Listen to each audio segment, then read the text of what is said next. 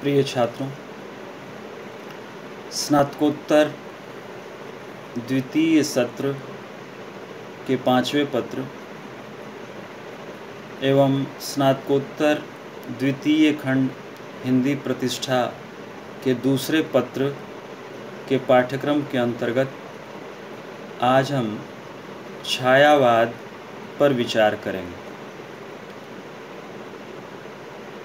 छायावाद हिंदी साहित्य के काव्य वैभव का उत्कर्ष है।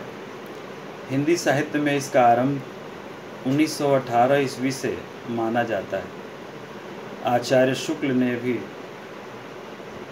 आधुनिक कविता के तृतीय उत्थान की सीमा का आरंभ संवत 1975 अर्थात सन 1918 ईस्वी से माना है।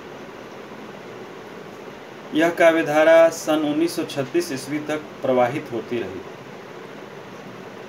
इसमें जयशंकर प्रसाद, सूर्यकांत त्रिपाठी निराला, सुमित्रा नंदन पंत और महादेवी वर्मा जैसे अत्यंत महत्वपूर्ण कवि हुए। इस काव्यधारा के नाम छायावाद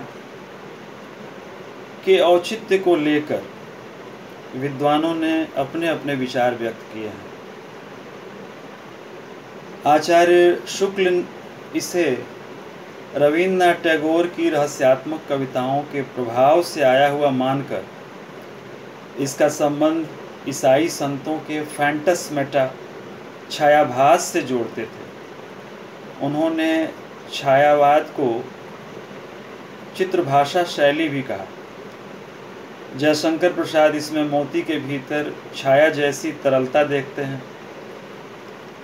मुकुटधर पांडे इसे कविता न मानकर उसकी छाया मानते हैं।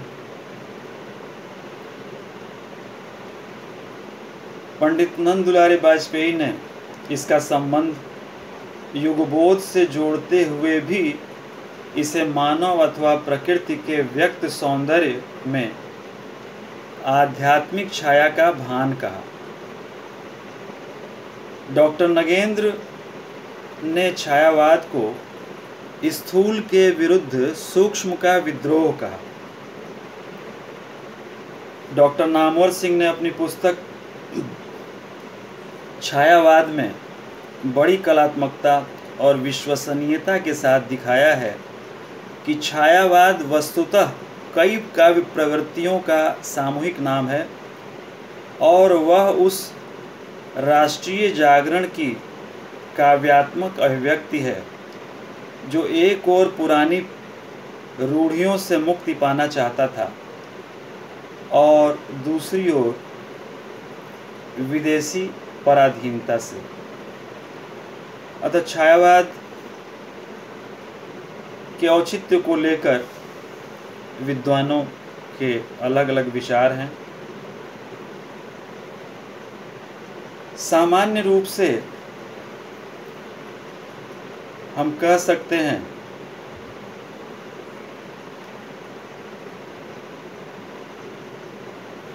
कि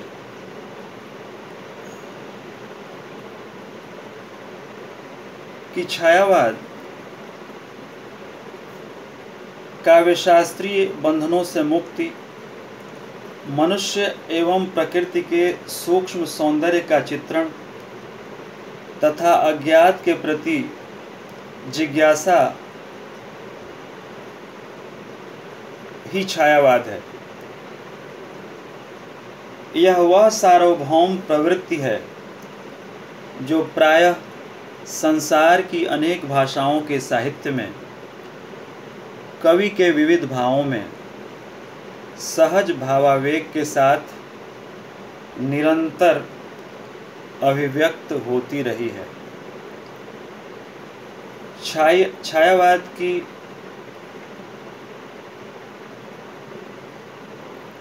प्रमुख प्रवृत्तियों की हम चर्चा करेंगे।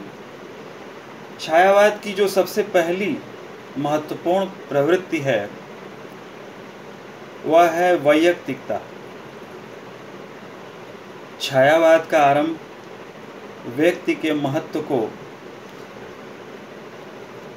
स्वीकार करने और करवाने से हुआ।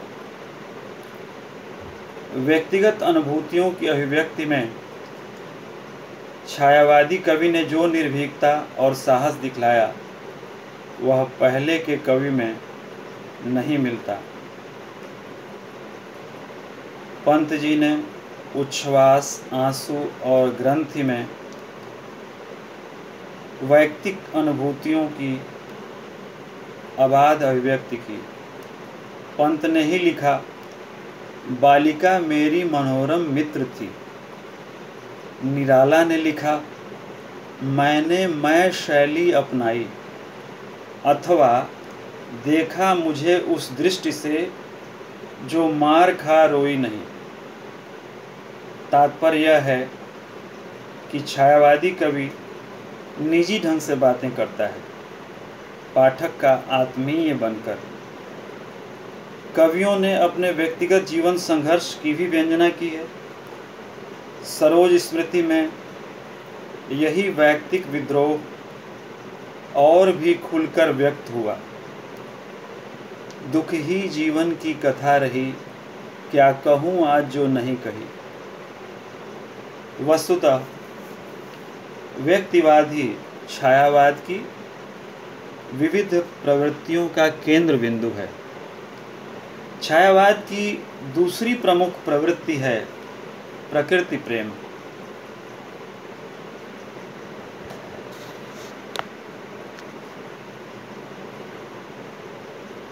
प्रकृति चित्रण में पहले के कवि जहाँ प्राकृतिक उपादानों या दृश्यों के स्थूल रूप का वर्णन करके प्रायः संतुष्ट हो लेते थे। वहाँ छायावादी कवि ने प्रकृति के अंत स्पंदन का सूक्ष्म अंकन किया। संध्या का चित्रण मेघमय आसमान से उतरती हुई सुंदरी के रूप में करते हुए निराला उसकी गतिविधि इस प्रकार आंकते हैं। तिमिरांचल में चंचलता का नहीं आभास, और अलसता की सीलता किंतु कोमलता की वह नेली। सखी नीरवता के कंधे पर डाले बाँ छाह के अंबर पथ से चली। इसी प्रकार महादेवी ने रजनी का रूपक अभिसारिका के रूप में बांधा है।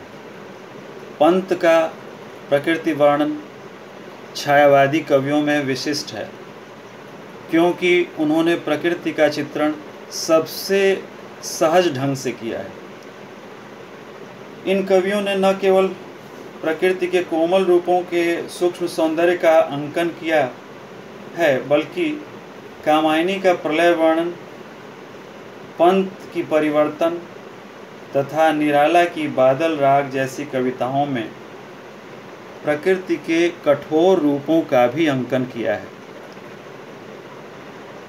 छायावाद के व्यक्तिनिष्ठ दृष्टिकोण ने न केवल प्राकृतिक सौंदर्य में सूक्ष्मता दिखाई, बल्कि मानवीय सौंदर्य में भी। जैसे पंत की इन पंक्तियों में नारी के बाह्य सौंदर्य के साथ साथ आंतरिक सौंदर्य का भी आभास मिलता है।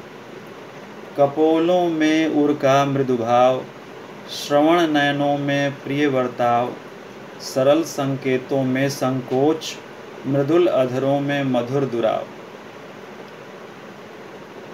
निसंदेह छायावाद ने नारी को मानवीय सहृदयता के साथ अंकित किया है।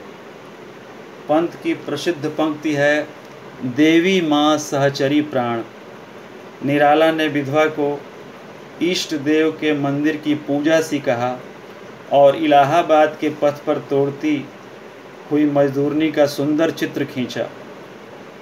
प्रसाद ने नारी को श्रद्धा के रूप में देखा, जो मनुष्य को श्रेय के पथ पर ले जाने वाली है।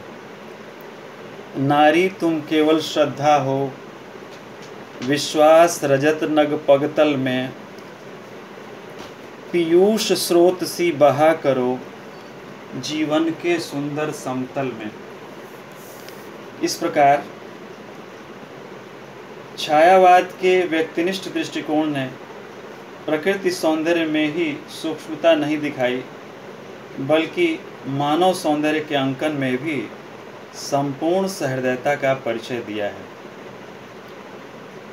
आज यहीं तक, आज हमने छायावाद के औचित्य तथा उसकी विविध प्रवृत्तियों के अंतर्गत वैयक्तिकता, प्रकृति प्रेम, मानव सौंदर्य और नारी चित्रण पर विचार किया है। शेष प्रवृत्तियों पर हम अगले व्याख्यान में विचार करेंगे। धन्यवाद।